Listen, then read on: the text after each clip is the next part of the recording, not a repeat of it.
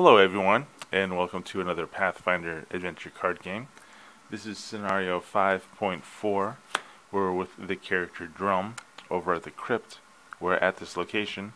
The difficulty of checks against Banes that have the cold or undead trait is increased by 3 plus the scenario's adventure deck number.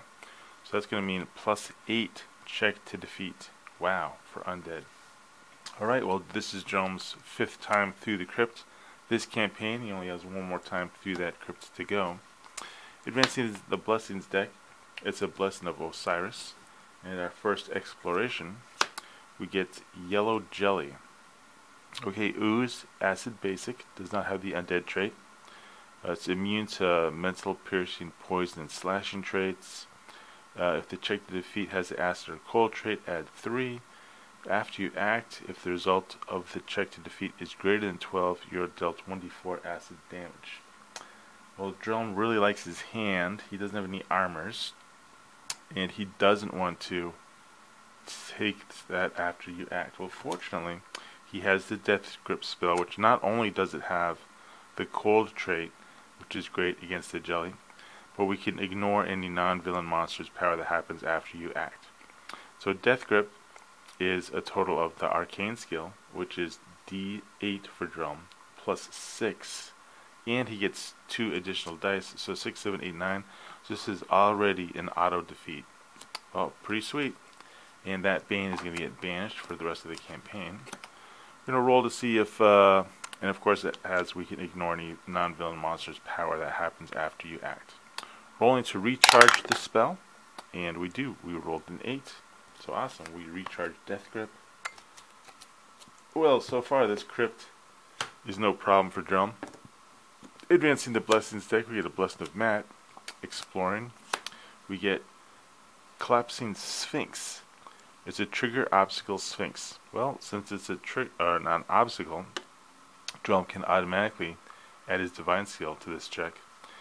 And his Dexterity, Stealth, Wisdom, Perception. Oh, so his Wisdom is also a D8.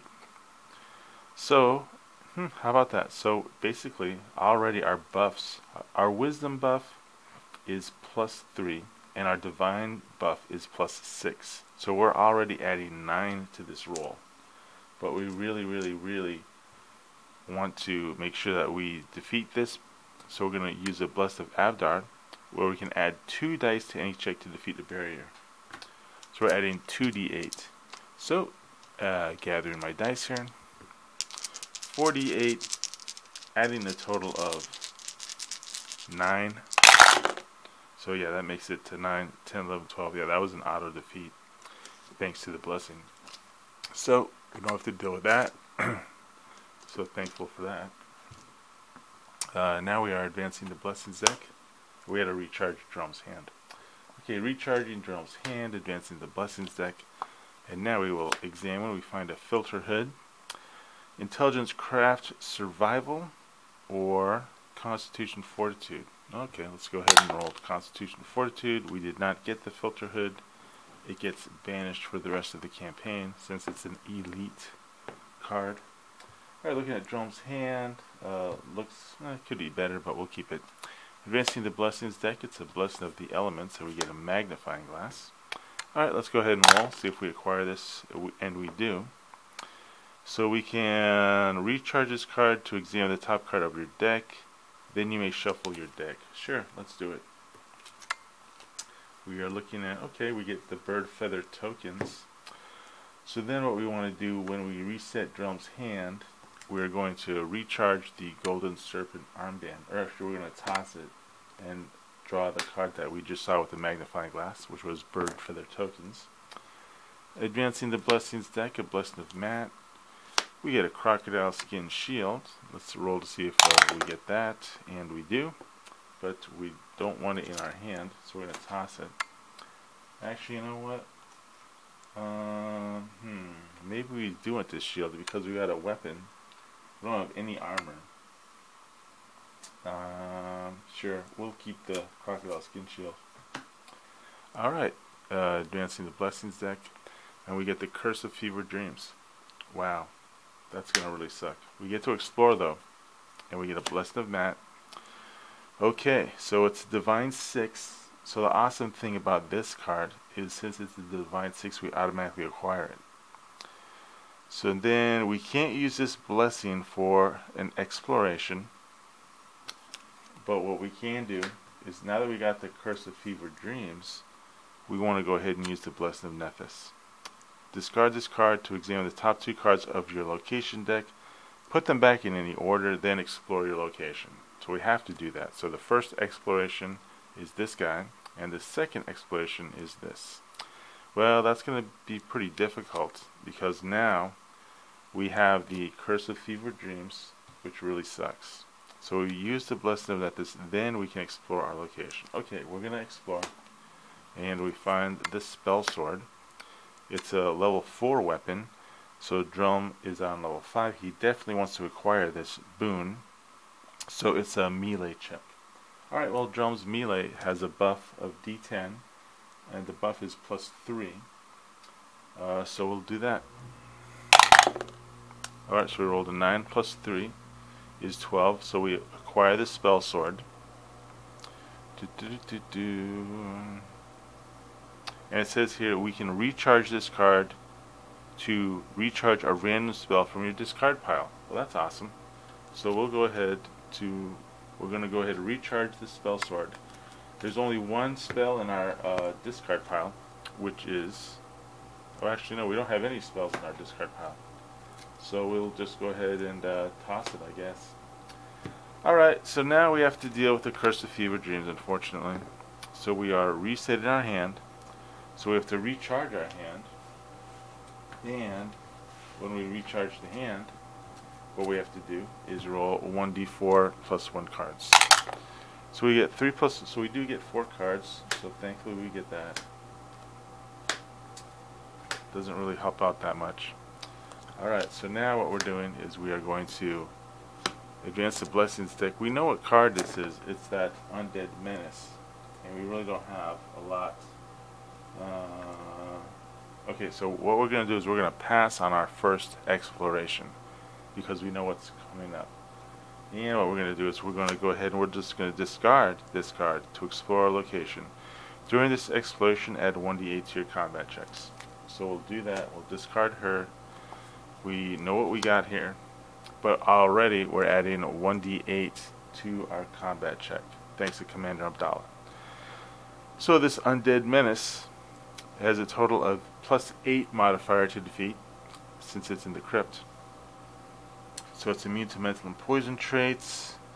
If the check to defeat has the divine trait, add 1d6. Uh, well, we are going to be using a blessing. We're going to use a blessing of Pharasma on this check. But as it is, it's just going to be a straight up melee check because Drelm doesn't have any weapons. So the melee check is d10. The Blessing of Pharasma is going to give us another d10.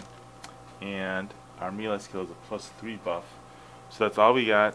That's pretty cool. It's pretty good. Thanks to Commander Abdallah and the Blessing. Let's see what we got. Alright, so we rolled a 9, 10, and a 6, and a 1. Wow. Pretty bad roll. We needed 21 did we get it? 6, 7, 8, and 9 17, 18, 19, 20. Wow. So we failed by 1, but fortunately we have a stained glass elemental. So the way I'm playing it, even though I'm using like two allies, technically, one I just used for an exploration. So that wasn't part of the check. And this one, I'm saying, I can use it for the check. So if so, and if I'm using that rule right, you can let me know but I'm not using two allies on this check because the first one's just for an exploration and this one's for the combat check. So when I recharge this stained glass elemental, I can buff up my roll to one and defeat the the Tekkenu. Alright, so that's how I played it. Let me know how that worked. I think I followed all the rules correctly. I am a rule stickler. Okay, so we reset our hand.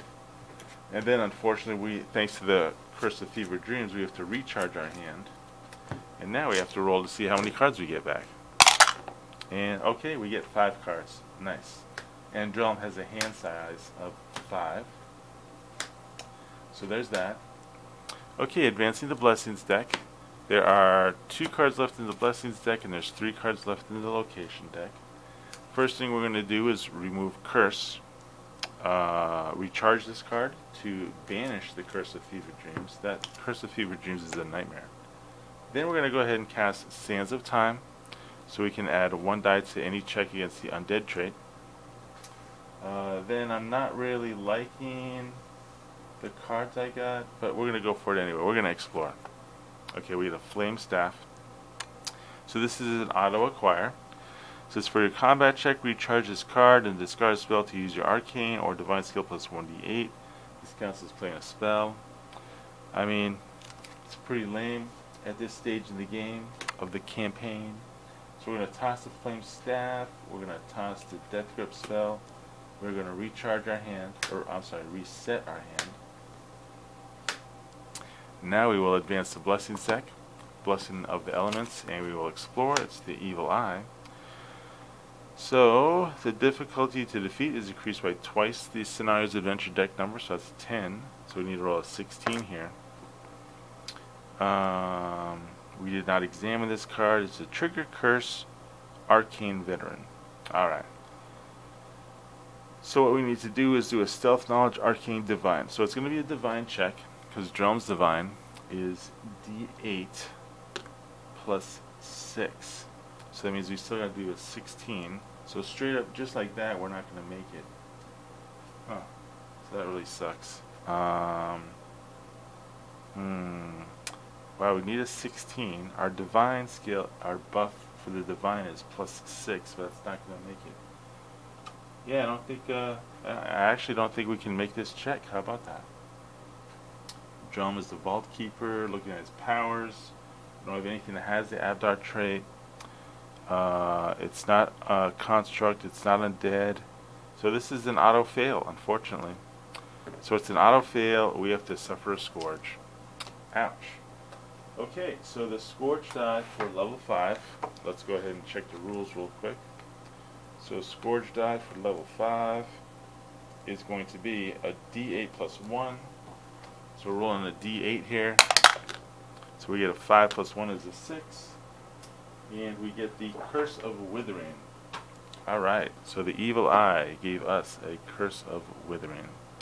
That really sucks. And there was nothing we could do about it. So now, Drelm is adding the Curse of Withering to his hand. And checking out, the, we are going to go ahead and use our magnifying glass. We're going to recharge that to look at the top card of our hand. It's a Maga Three Fingers, who's going to be useful. So we'll uh, definitely keep her, and we will reset our hand. Alright, so the, final card in the Blessings deck is a Blessing of the Ancients. And our final exploration is, dun da da, the Villain. Alright, so it's immune to the mental and poison traits. If the check to defeat does not have the magic trait, the Canopic Soul is undefeated. Well, fortunately, we have a magical Natron Fang in our hand. Before you act, the Canopic Soul deals each character at your location one mental damage that may not be reduced. then after you act, it's going to deal 1d4 mental damage. Okay, well, we can survive all that. So for the damage, we're going to go ahead and just uh, lose the Mystic Cloak. It doesn't stop uh, mental damage, so we just take it as damage. And now what we're going to do is we're going to go ahead and, since this has the undead trait, the check to defeat is actually going to be by plus 8. So we got a plus 8. So we need to roll a 32, a whopping 32. Alright, so we're going to use the Natron Fang. It's assembling our dice. It says strength and melee plus 1d8 plus 1. If the Bane has the undead trait, we can add 2d8 and the bludgeoning trait. Okay, so here's what we're doing. So we got our strength die and the d8 thanks to the Natron Fang, and we get to add another 2d8. Uh, then we have, hmm, well, we got uh, the bird feather tokens, we got Leslie the Khepri and Maga Three Fingers. Well, Curse of Withering says we have to replace our highest die with the next lowest die. And we also have a Sands of Time spell, thankfully. So the Sands of Time spell, they don't want to forget that. That gives us an additional D8. Okay, and we got to use this one. Okay, so we just have uh, 5d8, so possible 40 there. We need a total of 32. Let's see what we get. Alright, so we get, that is a 1. I don't know if you can see that, but that's a 1. So 1, 6, 8, 5, 7. Well, this is a great roll. Let's see, is that over what we need? So we needed a 24, 32. So this is 15, 20, 26, 27. Ouch. Well, fortunately we have the Blessing of Khepri. So we can turn that 1 into a 6. So was that enough? So 12, 20, and then 32. This is 24, 12, 16, 17, 18, 19, 20, 21, 32. Wow, so 32 there. Let me double check. Is that 32? 12, 20, 27, 29, 30. Wow, how about that? Thanks to the blessing of Khepri, we have defeated the Canopic Soul. Wow, that was, we had all the right buffs. Sands of Time, some great cards, but we still take 1d4 mental damage that may not be reduced. So that means we took 4 points of damage, we have to discard our entire hand. When we reset our hand, uh, fortunately, we have 5 cards. So we have 5 cards, the Canopic Soul is banished, and this location is closed. Alright, let's go ahead and do a deck check here. Let's check out the reward. That was a really cool scenario. I mean, so far level 5's been uh, pretty cool. The first adventure was great. Second adventure, uh, you know, and third not so much, but this adventure, man, this adventure rocked. Okay, so the reward for this scenario for Drelm is a da, da, da, it's a skill feat and we get the Pharaoh's Key. So we get the Pharaoh's Key. We'll put that down there. We're going to do a deck check here. And Drelm gets a skill feat. So we're just, uh, our, original plan, zoom in here, is to do, do, do a little more. Okay, so we want to just max out Drelm's strength. So he is all totally maxed out in strength. He's all maxed out in wisdom. I think he gets one more skill feat. So we'll probably bump up his charisma but that's just where I'm feeling right now. So that's done. Let's look at the deck now. So zoom back out. Okay, so we got an item, great spell. Probably one, probably one of my favorite spells at Sands of Time. And here's uh, the state of Drelm's deck. He's got a lot of cool stuff here. That blessed the Maat, was it fortuitous? The magnifying glass, that actually helped out. I like that magnifying glass, so it was cool that he was able to find that in the crypt. It's cool finding just useful one-shot things that characters aren't going to keep, because you never know what's going to help you out. With a spell sword. What a cool find. And we toss that. So Drelm's got a whole bunch of cool stuff here. So let's see. And of course with that Pharaoh's Key. So he's going to go ahead and go to a trader. I mean, look at his spells. He's got these he could definitely use a better spell. And we're on level 5. So let's go ahead and go to the trader Hadron Hopper, who does offer spells. He would like to get that Dune of Doom spell. I mean, he traded it for the Axe of the Imperative, but wouldn't that be cool if he got it back?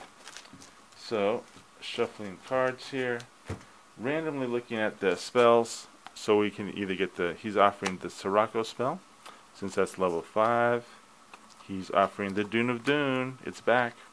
Or uh, we're on level five. Or channel the gift. Okay. So Hayden Hopper says, look, here are the spells that I'm offering you. All right. We don't want channel the gift. That's more for uh, searching for spells.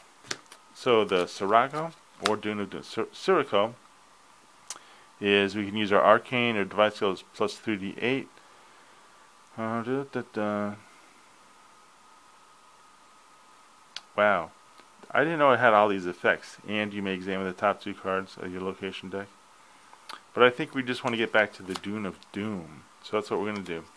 We want the Dune of Doom. So we said, tell Hayden Hopper, look, we're going to give you, you want a level 4 boon. So we're going to give, well, we want to keep that actually. So we got the Spell Sword, right?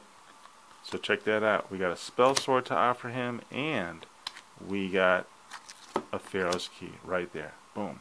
So we're going to offer him the Pharaoh's Key, even though it's a nifty item. I mean, check out this nifty item here. And there. So there it is. Pharaoh's Key is pretty cool. I mean, I like it, but we're going to trade that and that for the Dune of Doom spell. That means we to, to make some room, we either have to lose the Death Grip or the Corrosion spell. Probably Death Grip because Corrosion, we can use that in a combat check. So, and of course, Drelm has a lot of extra cards, which he will have to uh, get rid of to make his deck legal. I'm surprised Commander Abdallah does not have the Ab Abadar trait. That would have been really cool. Well, anyway, that's the state of Drelm's deck. Uh, really exciting adventure. Thanks for watching. And I will have another adventure up shortly. All right, thank